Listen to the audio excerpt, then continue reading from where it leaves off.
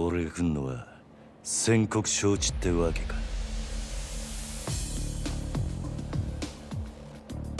堂島組の桐生一馬だ。東郷クレジットの社長に。俺をはめた礼を言いに来た。うちの社長はあんたに会う気はありませんよ。桐生さん。じゃ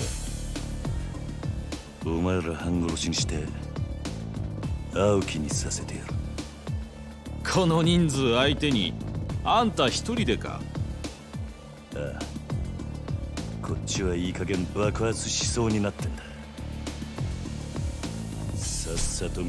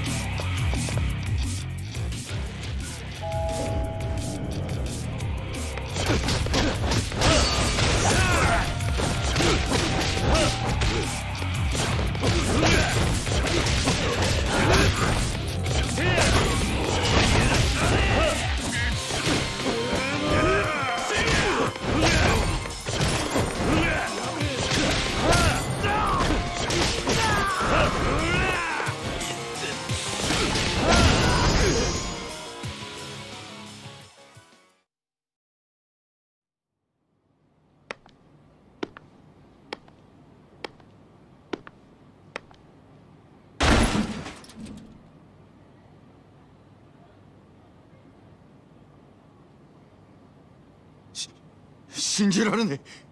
まさかここまでたどり着くかよ。あとはあんただけだ社長。じっくり話を聞かせてもらう。話？何の話だ？今さらとぼけだって時間の無駄だ。なぜ俺をはめた？あんたの目的は何だ？おい近づくな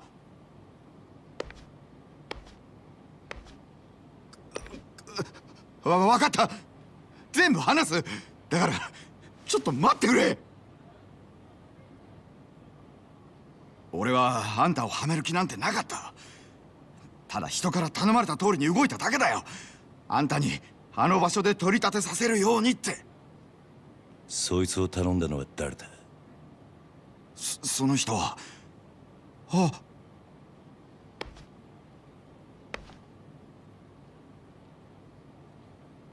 クゼの兄貴。まさかあんたが俺を？何の話だ？ねえ社長さん。ええ桐生お前何やってんだ？殺日するように言ったはずだろ。寝ぼけたことやってんじゃねえぞ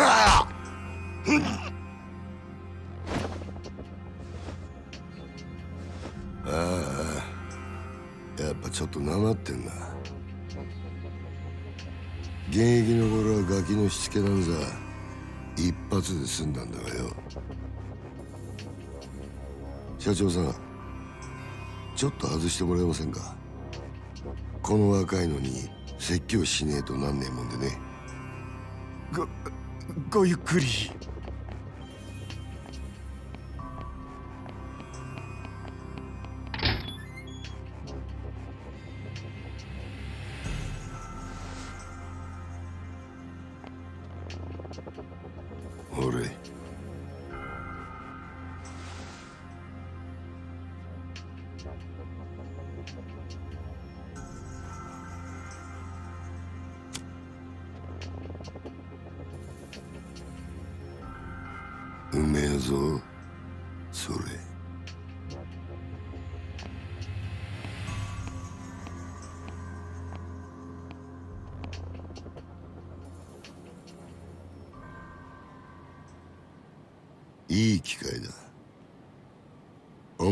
一度腹割って話してえと思ってたからよ。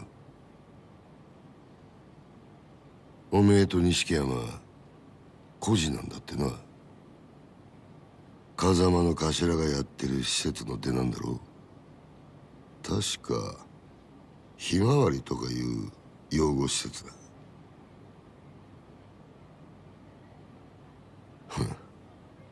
極道なんてまともに育ったやつの方が少ねえ。孤児だからって恥じる必要はねえぞ。ただな風間の頭もえげつねえ真似をするよな。どういう意味ですか？拾ってきたガキに育てた恩着せてよ。今じゃ立派にあの人の玉よけになってるじゃねえか。おめえと錦山。頭のためなら命も惜しくねえってよこういうの洗脳っていうのかそろそろ本題に入ってもらえませんか？クゼの兄貴。あんたの話はさっぱり先が見えねえ。桐生お前風間の頭をスパイしろ。何？殻の一粒の話はしたな。それさえ手にするや俺が次の若頭。堂島組の跡目を。だがそのために必要なあの土地のある情報ってやつを檻の中の頭が握ってやがる。ある情報？ああ。お前そいつを頭から探り出せ。うまくやりゃ組手の将来を俺が約束してやるあの人まさかお前に裏切られるとは思ってねえからな。構成員2万5千の登場会。その直系堂島組でのし上がったとなるや大した出世だ。それに例の殺しの真犯人も渡している。やっぱりあんたが俺をはめたんだな。さあな。ただこの話を蹴りゃおめえは確実に無所行きだ。俺につくか。もう先のねえ風間につくか。好きな方選べ。だが返事は今だ。この場でしろ。クゼな兄貴。なんだ？あんたは賢いつもりで立ち回ってるんだろうが全然器じゃねえよ。何？俺のこともおやっさんのことも。あんたは何も分かっちゃいねガキが。この俺を敵に回すのか本当にその覚悟があんだろうな。え覚悟ならありますよ極道ってもんでしょう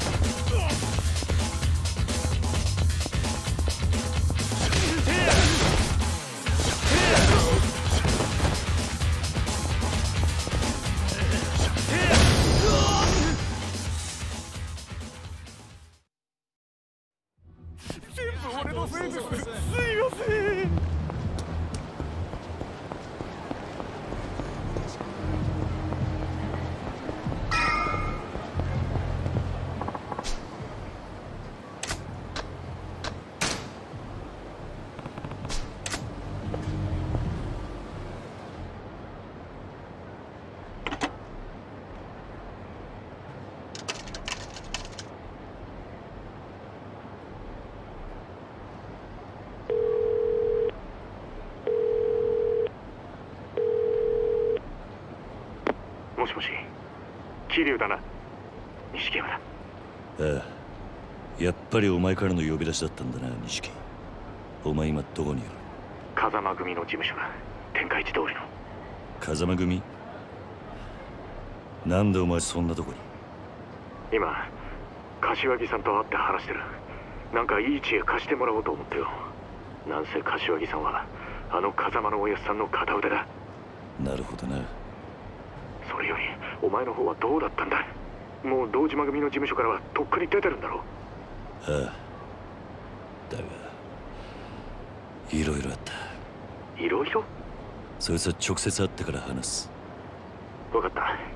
なら俺は柏木さんと風間組で待ってるからすぐ来てくれ。実はなお前も柏木さんの話を聞いといた方が良さそうなんだ。お前空の一坪って聞いたことあるか？久世の兄貴からさっき聞かされたばかりだどうやら柏木さんは何もかもお見通しらしいな。俺もすぐそっちに向かう。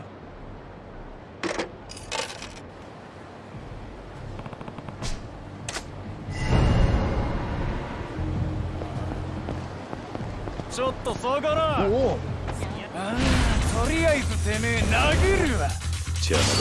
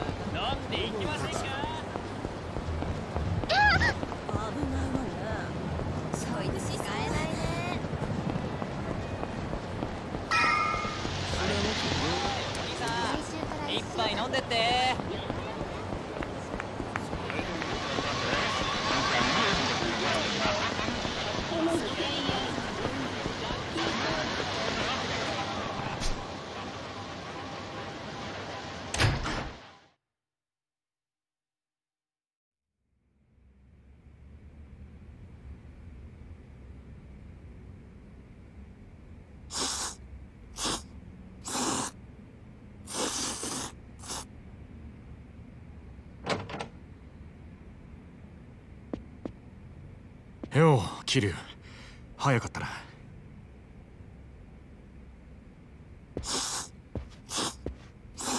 すいません柏木さんお手間かけさせるような真似しちまって。あの。はい。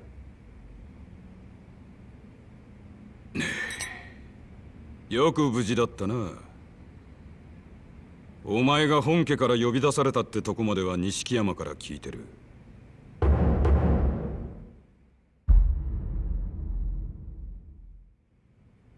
そっから先何があったかは大方予想がつく。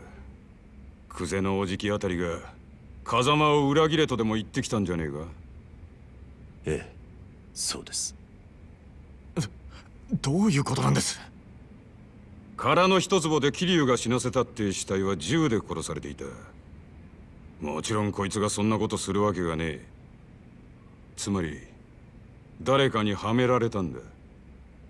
たはそれもっと早く言ってくださいよ。俺はもう本当に兄弟が人殺しになっちまったのかと。錦。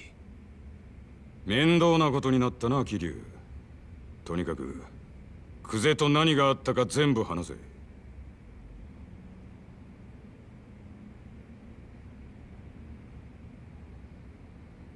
なるほど。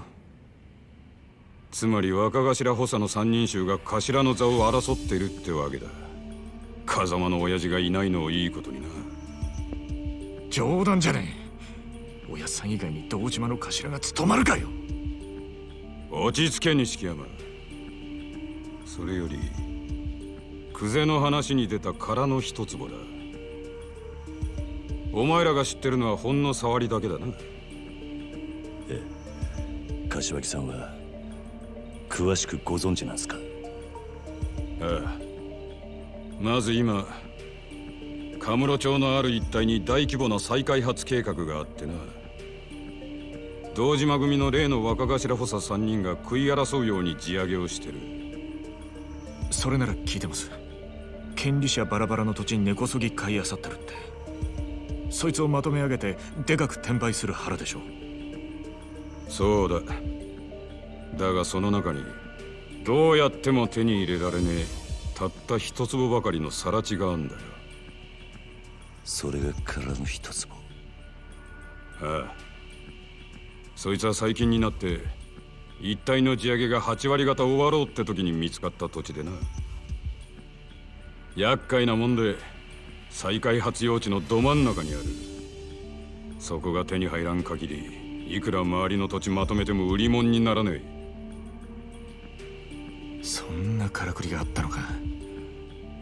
ところでその一つをまだ誰も手に入れてないんですか？所有者が行方不明らしい。もし今出てくりゃ10億って値になってんだがな。10億？たった一坪の土地が？ああ空の一坪がかけりゃ再開発自体がひっくり返る。だが堂島組は周り一帯の地上げにもう100億以上突っ込んでんだ。一坪10億だろうが今さら引けやしねえ。久世はその土地を手に入れるのに必要なある情報を風間のおやつさんが握っていると言っていました。風間のおやつさんの持ってる情報って何です？いやわからねえ。俺も初耳だ。でもやっぱり姿消している土地の所有者に関係することでしょうね。何にしてもクゼはその情報をおやっさんから探らせるために桐生をはめたったわけか。ああ。そのために人一人殺してまでな。おめえら今の状況わかるか？桐生は当然として追い詰められてんのは風間の親父も同じだ。桐生が仇殺したってことで後見人の親父もけじめを迫られる。その上久世が殻の一坪手にして若頭になってみろ。奴は親父を必ず組から追い出す。組から追い出す？まさか堂島組の波紋もあり得ると。ああ親父も無所にいる以上今は何も手が打てねえ。あのおやっさんが波紋？破門された極道の末路は言わなくてもわかるな。一度上までのし上がった後で底辺の屈辱に耐えられる人間は少ねえ。自殺したホームレスに元極道って肩書きがついてるのは珍しい話じゃないでも桐生は実際殺しはやってないんです。こいつの疑いさえ晴らしゃ親さんも波紋にはならねえはずでしょう。疑いを晴らすには真犯人を抑える必要がある。そうだ。だが久世が真犯人を握ってる以上手は出せん。相手は堂島組の幹部だ。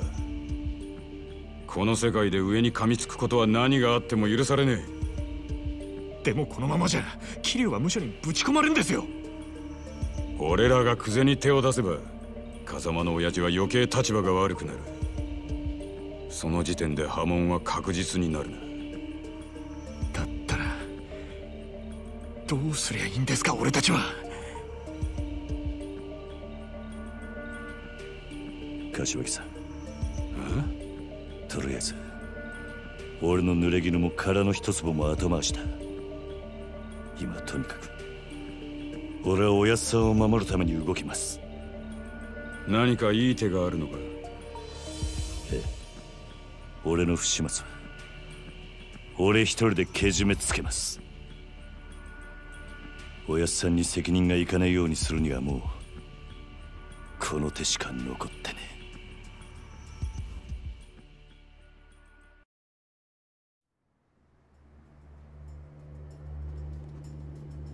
一人でけじめつけるって何する気だ？桐生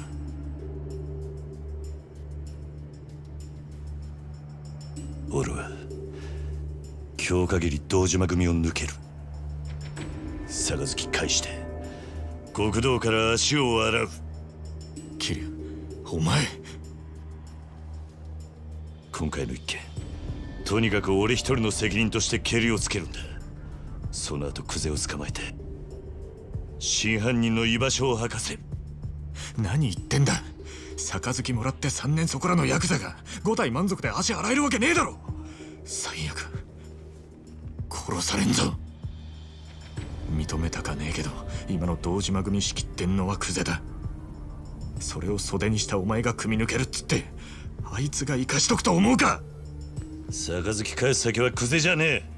堂島組長だそれにまだ殺されると決まったわけじゃねえ。車回してくれ錦。これから組の事務所に行く。ふざけんなって！お前やけになってるだけじゃねえか！うるせえ！他に手はねえんだ。このまま指くわえて。見てるわけにはいかねえ。やめろ桐生。錦山の言ってることは正しい。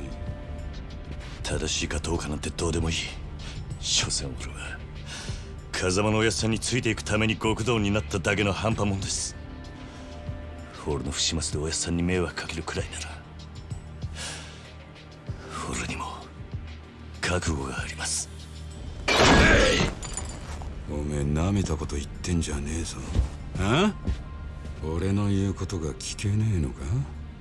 ああ桐生！ええたとえ風間のおやっさんが止めたとしても俺は行きます。こんな。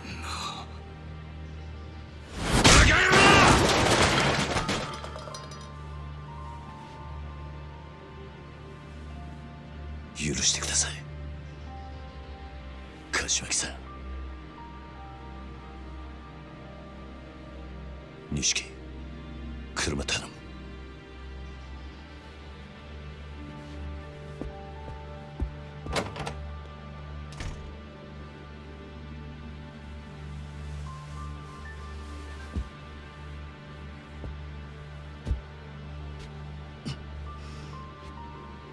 長い間お世話になりました。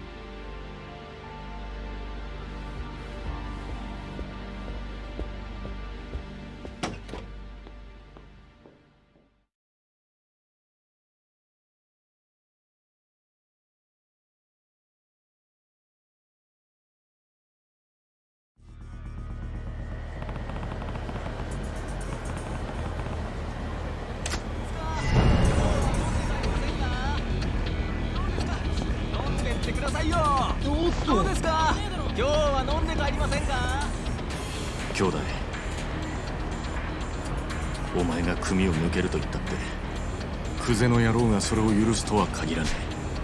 何が起きてもおかしくない。覚悟を決めておくんだ大丈夫だ。行こ分かった。ノブ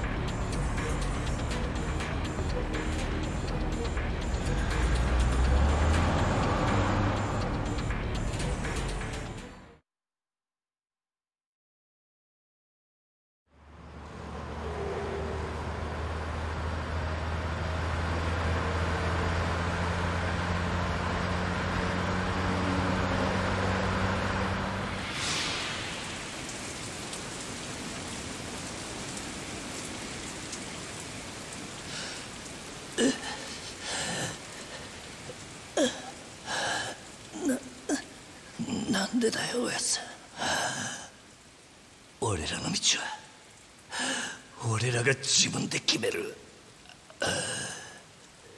今まで育ててもらった恩とは別の話だ。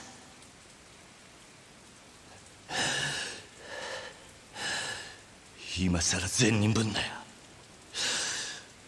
あんたもヤクザなんだろだったら俺らがヤクザになるのを止める資格なんてねえじゃねえか。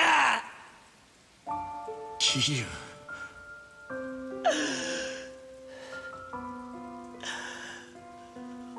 俺たちはずっとあんたの背中を見て育ったんだ。いい車乗って肩で風切って周りの人間に頭下げられてそういう人間になりてえって俺たちがそう思っちゃいけねえのかよ。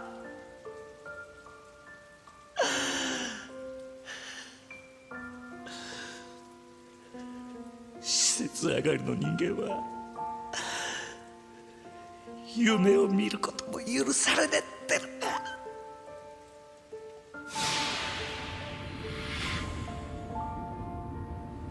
なあ今お前何考えてた？何もぼーっとしてただけだ。俺はよ。いつだったかおやっさんに殴られていた時のことを思い出してた。俺たちがこの道に入る。前の晩だったよな。確か。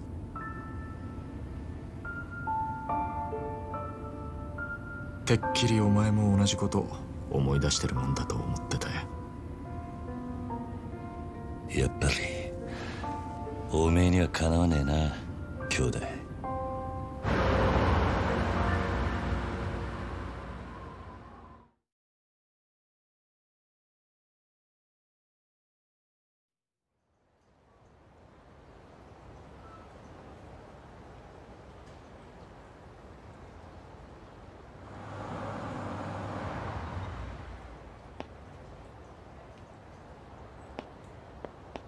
やれたはずの事務所が今日はやけに不気味に見えるな。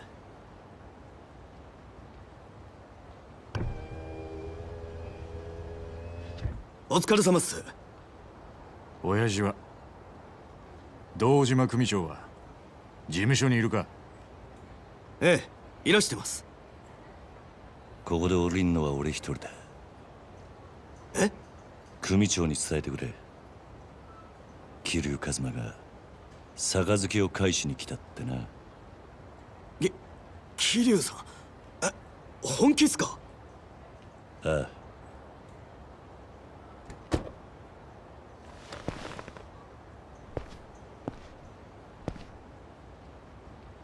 すまなかった。な錦お前はもう行ってくれ本当にやるんだな桐生組長に話をつける死ぬと決まったわけじゃねえ。せいぜい器用にやってみるさ。お前にそんな真似ができるのかよ。バカ野郎が。またな兄弟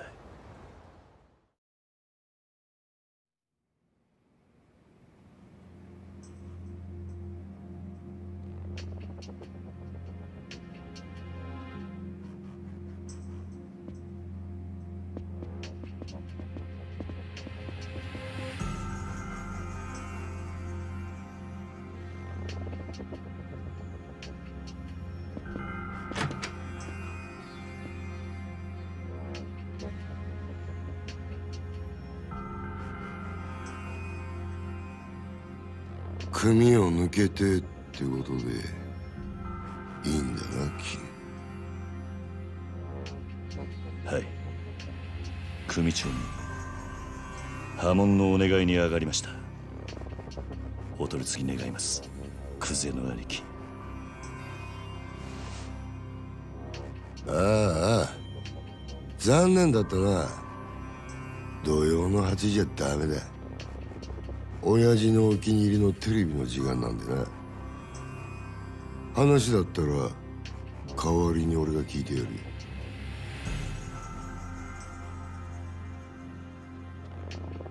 てめえ。縁故も詰めてねえじゃねえか。手ぶらで組み抜けの挨拶とはな。てめえ極道舐めてんのか？あああんたと話に来たわけじゃねえ。組長はどこにいるんだ？今現場で組み仕切ってんのはこの俺だ。口の利き方には気をつけろよ。あ。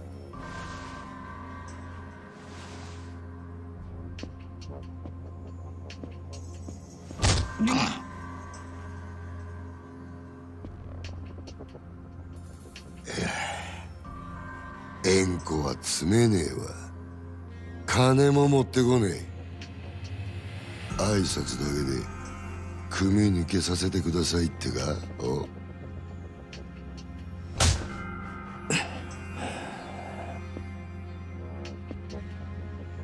俺学生気分で敷居またげるほど極道の世界甘くねえぞこら。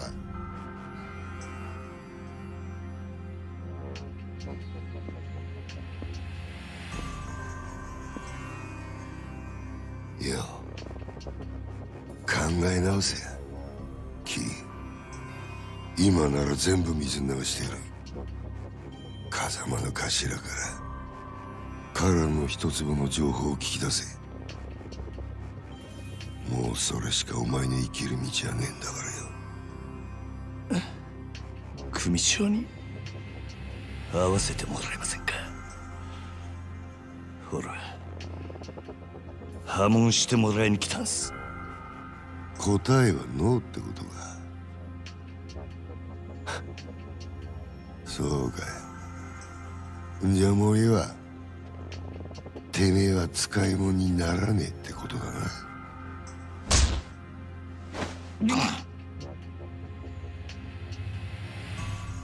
お前には俺のそばについてのし上がるチャンスがあった。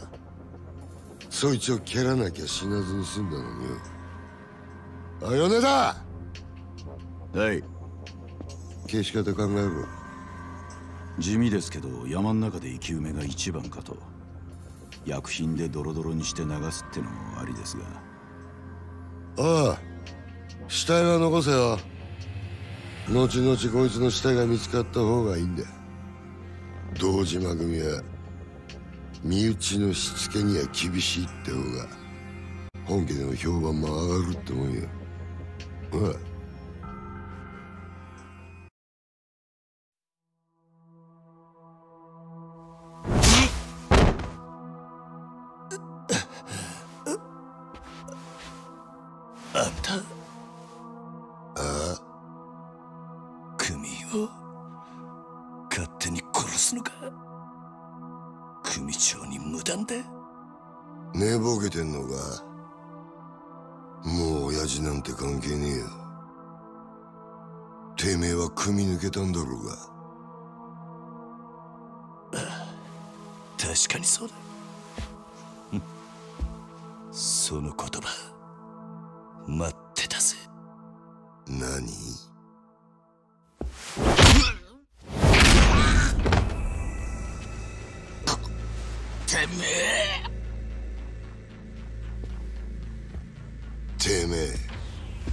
兄貴分に向かって何しやがる？兄貴分だと？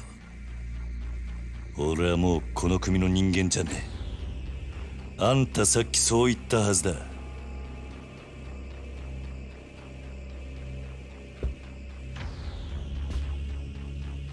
かかってくんのはあんたらの勝手だがこっちも遠慮なく手出させてもらう。クゼの兄貴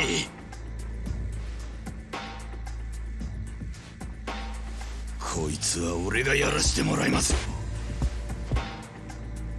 任せる。好きにしろよ待て。あんたにはまだ話がある。俺にはねえ。どうせお前はここで死ぬんだ。もし生きて俺んとこまで来られたら話ぐらい聞いてやる。なら首洗って待ってろ。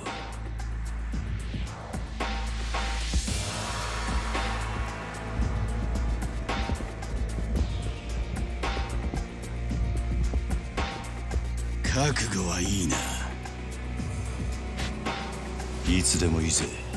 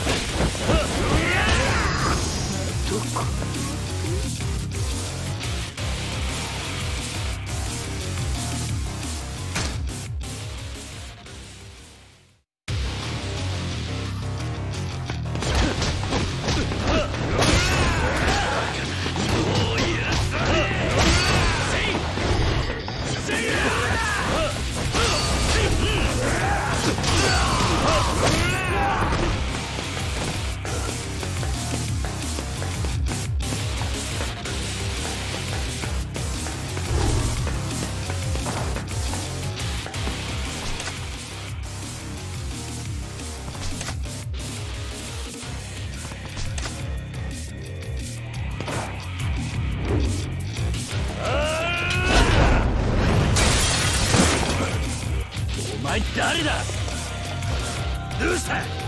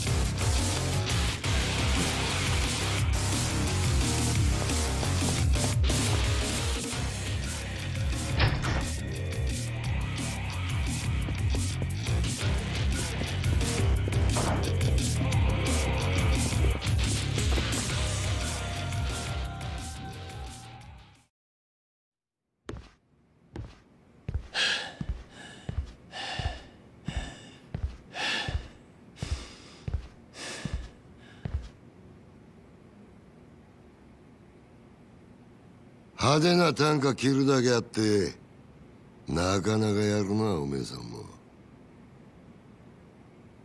風間の頭もいいガキをスカウトしたもんだ。俺がまだボクシングやってた頃におめえと会ってたらプロモーターになりたいぐらいだ。クゼ口が聞けなくなる前に吐け。殻の一粒の真犯人は誰なんだ？どこに隠してる？ガキが調子に乗りやがって。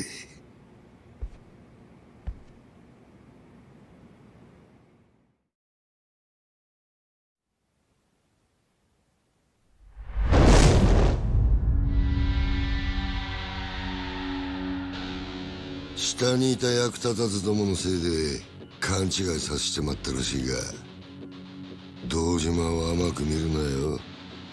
キリ。お前はもうこの手で直接やらねえと気が済まねいつまで能書きたるてんだ。さっさとかかってこい。えあ。かかってこねえならこっちから行くぜ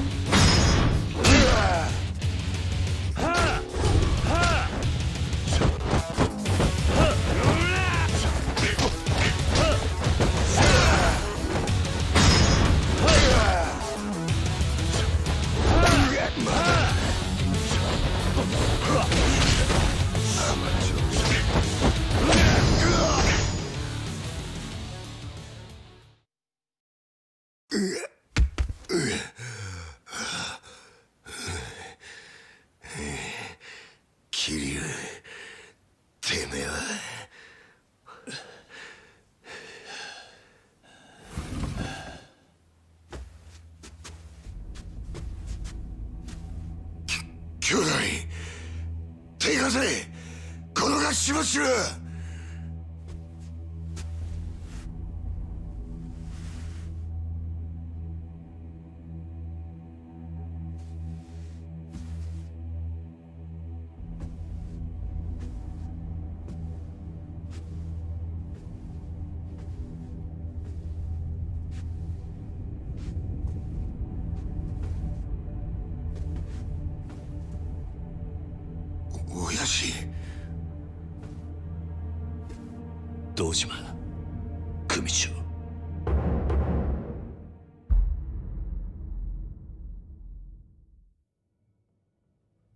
怠慢張ってたんじゃねえのかクゼ堂島の若頭補佐ともあろうもんがみっともねえ恥さらしやがる。風間の器には程遠いな。でも親父その頭が拾ってきたガキがこいつです。桐生一馬です。お前取り立てで相手ぶっ殺しちまったそうだな。バカな真似しやがって。そのことで組長にお願いに上がりました。俺は誓って殺しはやってません。ですが疑いがかかってる以上組に迷惑をかけられません。だから俺を破門にしてください。虫がいいこと言ってんじゃねえぞバカ野郎親父こいつは俺がきっちりけじめつけます。これ以上親父に迷惑かけませんから。お前仇に手かけんのか？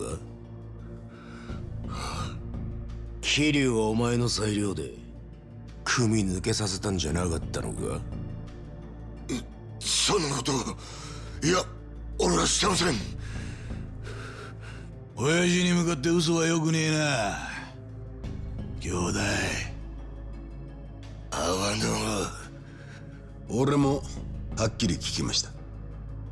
桐生はもう組を抜けた人間だ。それを殺すのに親父の許しはいらない。そう言ってましたよねクゼの兄貴。てめえら。クゼこれ以上無様さらす気か。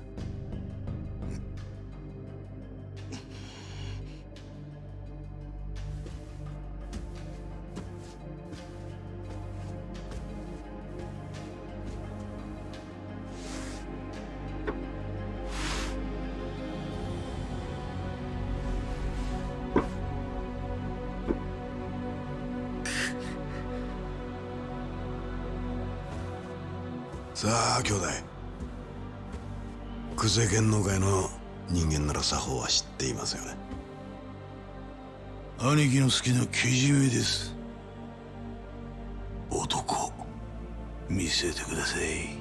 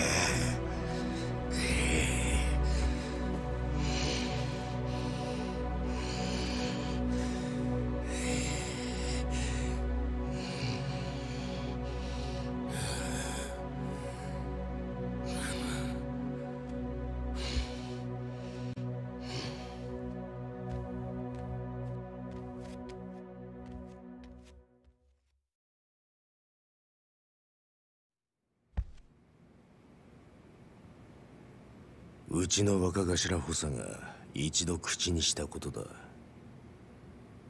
桐生一馬今日限り堂島組を破門とする。堂島組長。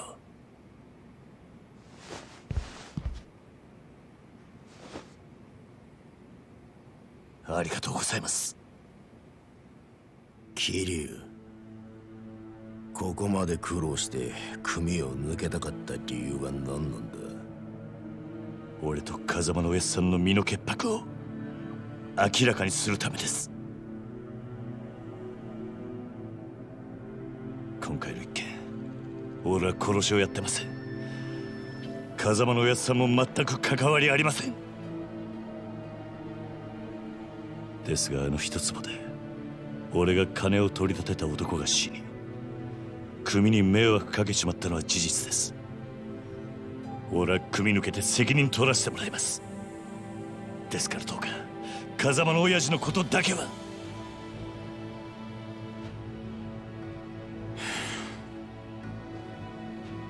さあ飯でも食うか。はい堂島組長お前が組抜けて取れる責任ってのは何だ？それは絶対に俺があの一粒で男を殺した犯人を捕まえます。それで俺と風間の上さんの身の潔白を。そうか。その必要はない。でも犯人を。犯人？そんなのはサツが勝手に探す。お前はもう仇だ。それじゃけじめがつきません。けじめ？だからてめえは仇だろうが。今さらごちゃごちゃうるせんだお前は自分の不手際があると認めるところはあるんだろう。はい。少なくとも自分があの場所で追い込みかけなければひょっとしたらこんなことには。だから波紋を申し出た。そうです。安心しろ。けじめならきっちり取ってもらうさ。え？風間が拾ってきたガキ。桐生。お前の不手際であの土地に手が出しづらくなっちまった。その責任は風間に取ってもらうお前もさっきまで極道だったんだ。この理屈はわかるだろう。堂島組長。極道は一度身引いたらしまいだ。お前は仇として幸せになる道でも探すんだな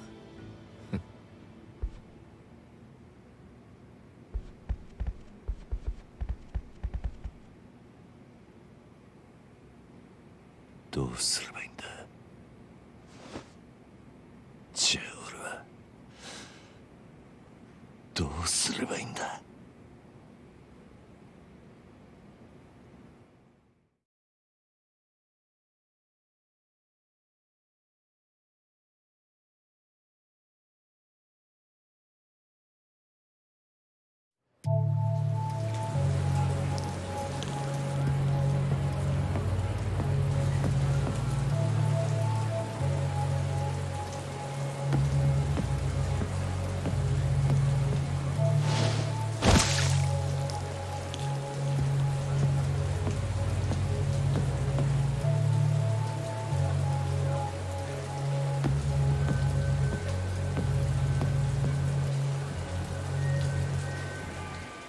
立てますか？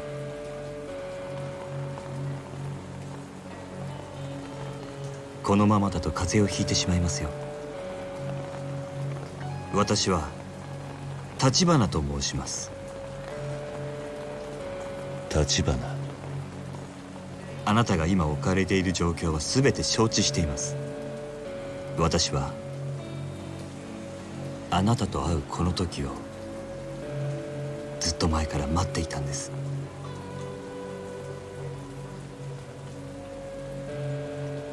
少しだけ話聞いていただけませんか？桐生一馬さん。